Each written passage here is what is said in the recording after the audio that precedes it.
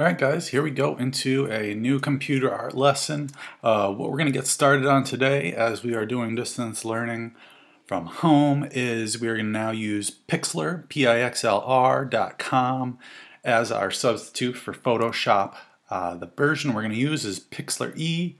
There's also Pixlr X, which is a much simpler version, probably better for use on like your phone or something. Pixlr E is what we're going to use, very similar to Photoshop. Um, what we're going to do is uh, you're going to have to sign up. Click sign up there. It'll probably say sign up if, uh, if you haven't already. I have, so it's asking me to log in. You'll have to enter in your email, your Summers email, and create a password. They'll probably send you an email, ask you to verify. So you go to your email, find their email, click on the link, and that'll bring you into here, and you'll be able to go ahead and start using Pixlr E. So again, Pixlr X is like a very simplified version for, um, you know, on your phone maybe. It's a little easier. Icons are bigger, simplified stuff. Um, but what we want to do is use Pixlr E.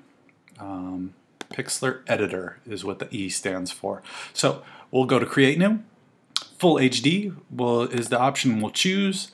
Um, we'll name this Pixlr Drawing. So P-I-X-L-R drawing and say create. So, which, like I said, um, this looks almost identical to Photoshop. We got our file system menu up here right underneath you know, your URL bar. You got your toolbar on the left. You've got a navigation window on the right. Zoom in and zoom out you can do from here. Um, you can also scroll up and down on your trackpad and that will zoom in and out. Woo -woo. And we got layers and history. So uh, why don't we get started in doing a little Pixlr drawing, just kind of like we did on day one of computer art. So we're to be focusing on using mainly these six tools, this six pack right here of tools um, that are all used for different kind of drawing approaches. Let's start first by adding a gradient uh, for our background. So you got two types of gradient. You could choose radial or linear. And then to choose the colors for your gradient, click on the gradient bar. Uh, you could choose from some preset ones here. If you scroll through, you got a lot of nice ones. Um, if you want to create your own, click on the color swatch and then click on this box that says color. And you can create or choose whatever gradient colors you want to have. So once you are happy with your colors, click over here on your window, click drag across and let go, and you've created a gradient background. Beautiful. So now what we want to do is create a new layer. We'll hit this plus sign in our layers panel and say empty. We can choose text layer, uh, image layer, or an empty layer. We'll create an empty one. Um, now what we're going to do is just move over in our toolbar to our shape tool. Uh, you have some different shapes you can choose from here. You've got this stroke number, which is the thickness of the outline. Um, if you want an outline, if you don't want an outline, I'll bet you can just hit zero in there and then you will have zero outlines on your shapes. But let's just say I have an outline. Um, down here we have the color of the outline and the color of the fill.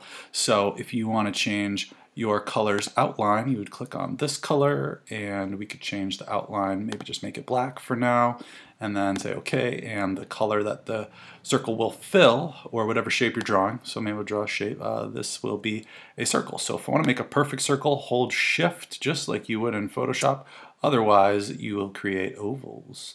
Um, so I'm going to just create a few circles here. Uh, change the colors. Maybe I'll switch up my color to something else for the next one and say okay. Hold shift, click drag to make a circle and then click again, change my color again, click drag, make another circle. Cool. And uh, maybe I'll do one more just for kicks. And maybe I'll change the outline on this one. Maybe I'll do a couple more with white outlines. So hold shift, click drag, make another circle, couple more, maybe one more. All right. Click, drag, circle. All right, cool. We made circles, shapes. So yeah, feel free to use any of the shapes you want to use. That is a-okay by me. So uh, next thing we are going to go over, if we're just going around here, we could use the fill bucket. So fill bucket tool it just does just as um, we want. We always know um, it's going to fill things. So if we want to fill in one of these circles like a different color, like um, maybe I say, oh, what is it giving me? I wanted to pick an orange here. Uh, let's see. There we go. I want an orange. There we go. And then if I click in a shape, it will change it to orange. All right, so that looks good. Um, I could, you know, pick another color. Maybe I'll just change the color of one of my orange ones because I got too many oranges now. All right, so fill bucket, cool. It does filling things. Um, eraser tool. Eraser tool is right here. As we've all always known and loved the eraser tool, you can change its size, you could change its shape. Um, so if I want a big eraser, I could do this, and then I could erase one of my circle shapes. I could also hit Control Z uh, to undo. I hit Command Z because I am on my Mac, but if you're on your Chromebook, you would hit Control Z to undo. So let's go ahead and add one more layer up in here. So we'll go empty layer. Uh, so this will be layer two. We got zero, one, and two. And now we're working our way around to the brush tool. So again, brush tool, just like that eraser tool, when we click on this menu, it has some different shapes we can choose. So I can choose like a diamond shape brush. Uh, I can make the size bigger. Um, don't have quite as many brush options as we did in Photoshop, but we have some different pen brush options, which are kind of cool. So just go ahead and experiment with making some different lines with these brushes. Again, remember Control Z will undo. Um, so why don't I make a couple of lines, choose a different color for this line.